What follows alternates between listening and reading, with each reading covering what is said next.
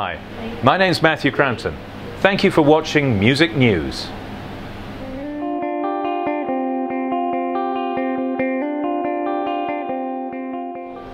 Matthew Crampton, it's great to see you. How are you doing today? We've just done a great show here. We're on the Cutty Sark. What a place to do a show. How many times have you played on a boat of this nature? I've never played on a big boat like this. We once did a we once did a, a concert on a barge in the in Harwich on the east coast in the biggest storm to hit the east coast in 50 years, and we were like this. and we're singing shanties, and we're landlubbers, and we don't know how to sing shanties like this, but we did it. Tonight we're static. It's just very atmospheric to be on this big boat here. How did the show go? It went well. We were underneath. There's a dry dock Yes. beneath the Cutty Sark, so I had this beautiful large bottom looming above my head all the way through the hull, the hull of the boat, all the way down. Uh, the acoustics incredible. We had a good audience, and it went very well. Yeah, I mean, you impart an unusual mixture of narrative and folk, sort of harking back to the days of the slave trade. When, when did your interest in that era first first begin? Well, I love telling stories. I'm a writer. I write books, and I love singing. And I do believe that um, people enjoy an audience en- enjoys evenings of words and music together. There's something about different parts of the brain being satisfied. And when you look back, there are so many stories to tell about the sea, about shanties. But what I liked, because I'm also quite political, I like stories of migrants. It's the it's the defining dilemma of our time today. And so I wanted to look back 200 years to see what were the experience of migrants then. And they may have been slaves, they may have been uh, immigrants leaving Britain to go and live in North America. There may be convicts being transported to Australia. What were their experiences? And are there any parallels with today? And there are. there, there are so many. I wish we had three hours. But what about, can you tell us briefly about your, your book as well?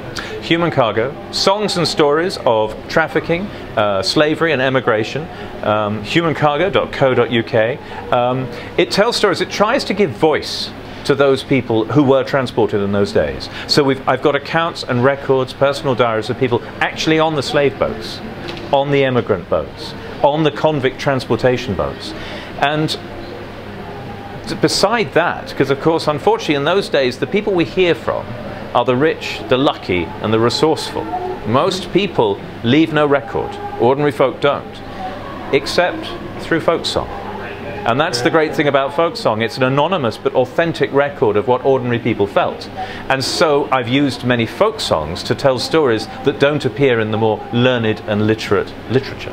But, I mean, was it always your, um, your, your plan to fuse the spoken word and, and song? Or was it something that just came about through time and um, it was a natural evolution of loving singing and loving writing. And um, my next show is based on something called The Transports, a folk opera uh, by Peter Bellamy, which we're touring in January, February next year. And I'm adding stories and spoken narrative to run all the way through it.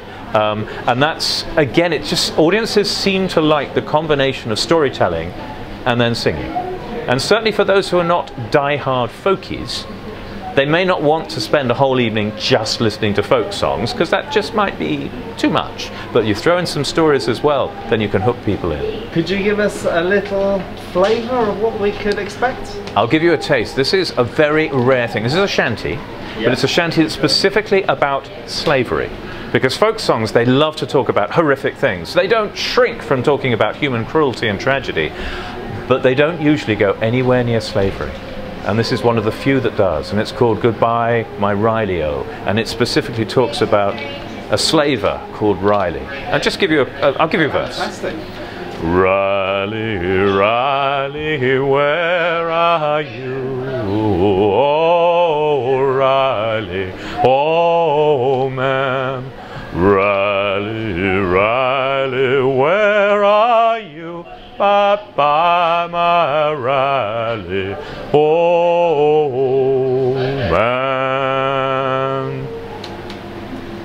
Fantastic. Amazing. No more no more to say from myself. Thank you very much for giving us your time. Anything else to say to Music News watchers? Well, uh, listen to shanties, sing some folk songs, buy the book, humancargo.co.uk, and look out for a show next year called The Transports, and attend to the refugees and migrants of the world. They need our help. Thank you very much. Thank you very much. Pleasure.